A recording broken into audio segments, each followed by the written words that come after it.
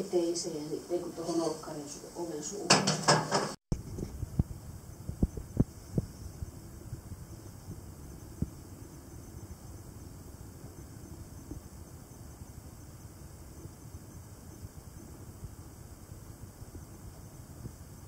Sillä on neljä jalkaa puolellaan.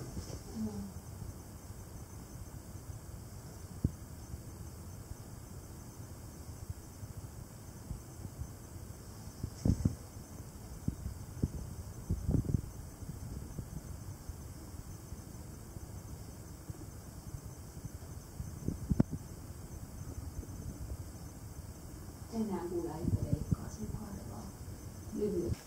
Se oli aika hurja saalis, mitä niitä löytyi. Mm. Mutta onneksi ne ei ainakaan kaikki ollut kiinni sinussa.